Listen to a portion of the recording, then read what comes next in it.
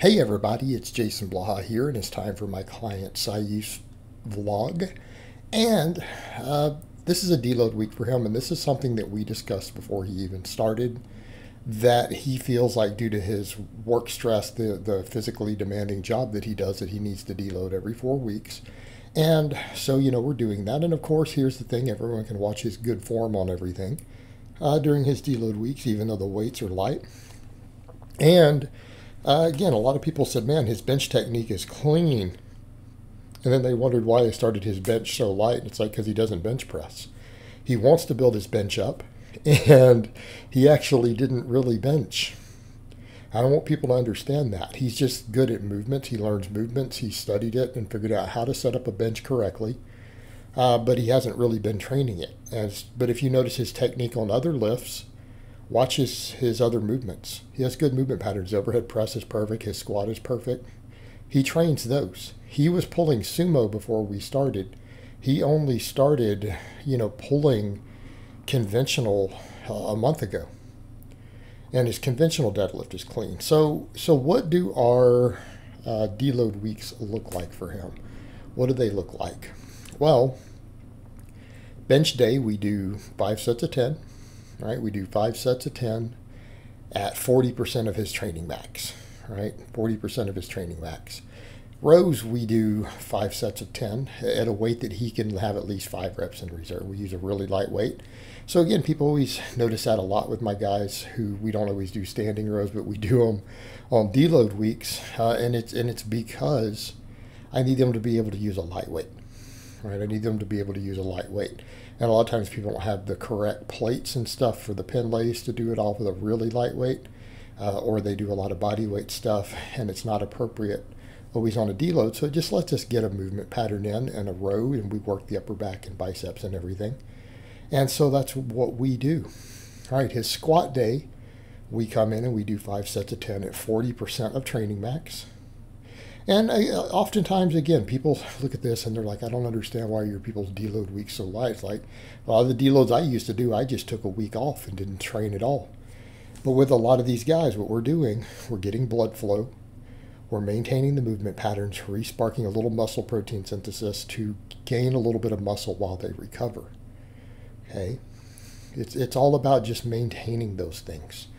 Uh, because again, they'll get better responses from it because they're continuing the movements, they're practicing movements, uh, they get, again, muscle protein synthesis because there is a very small training response. It's, it's nowhere near optimal, right? It's nowhere near optimal, but it certainly prevents uh, nervous system detraining. And again, just the volume of, of just the pump work, even though it's nowhere near failure, we're getting blood flow, nutrients, all of those things. Helps with like active recovery for all the muscles. All right, so squat day, he does that with the safety bar squat. Then we do Romanian deadlifts. Again, 5 by 10 using, you know, around half the weight he normally uses. All right, cut the weight in half. All right, so he does five sets of 10 on those. Overhead press, we do 5 by 10 at 40%. And uh, a lot of people have commented again, his overhead press technique is really clean. And he's strong at the overhead press. Right, he's a strong overhead presser. Also, we need to keep in mind, you know, he's cutting right now. He's on a weight loss journey. He's obviously incredibly jacked in spite of that, but let's keep in mind there's genetics involved, a very physically demanding job, and he, he has been training for quite a while. Right, he didn't just start training a few months ago. Uh, but he, again, he wants to focus now on getting really strong, right? Learning stuff the correct way while he trims down. And yeah, I mean, he's got a big muscle base and he's going to get stronger. He's going to get a lot stronger. And yeah, I mean, again, the, the, the quads and the triceps. I, I think that's the things that are most noticeable with this guy, just big quads and triceps. So, you know, again, weight loss journey going to lose weight. He's going to get stronger. He's going to keep getting stronger while he loses weight. Right? We're going to probably take, you know, at least another 30 pounds off of him, and he's going to get stronger while losing the weight. You know, at this point from where he is, we're going to keep his programming dialed in, fatigue management good. And that's where these deloads help.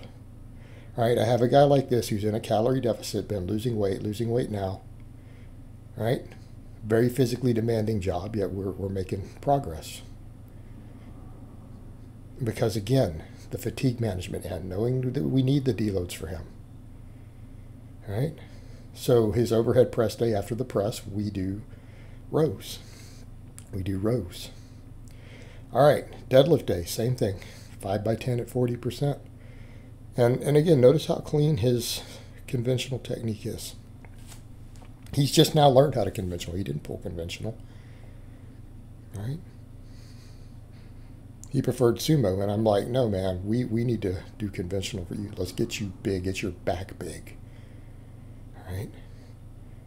Like his quads are, are big, but he's been pulling sumo and doing uh, safety bar. And he prefers that for shoulder reasons, just like he close grip benches only. But look at the size of the triceps. It's not going to matter. All right? It's not going to matter. It's going to have a massive close grip bench by the time we're done. But, you know, those these are things that he does because, again, his, his shoulders have bothered him a little. Some discomfort. So we use the tools that he has. Use the tools that he has. But the deadlift, you know, the deadlift, he's going to get more out of the conventional. I think he needs to pull sumo. All right, so the technique though, the technique is very, very good. Deadlift day, again, it's the same thing, 5 by 10 at 40% training max, and I have him do RDLs. So, so basically, what we're seeing on a deload week is we just do six lifts. Don't do any of the other supplemental stuff, and he doesn't have a lot of supplemental stuff. You know, we have a little bit of arms and things in there. I have him doing some dead hangs right now because, again, I'm worried about his grip. Because he's always wanting to strap. I'm like, no, no, let's get that grip built. And he's able to do dead hangs at his body weight. So his grip is stronger. It's stronger than he likes to feel like it is, you know. But we do that and then we finish off with the RDLs after. So basically, we do squat, bench, deadlift, overhead press, and then we do rows and RDLs for him. Everything's being worked. Right? Every muscle in his body's being worked, even on deload week. It's just being done with six big basic movements. And I'll let you guys finish up watching all this, and you'll see a set of his RDLs at the end after this last set of deadlifts. Uh, so I hope it has been informative, and I will talk to you guys next time.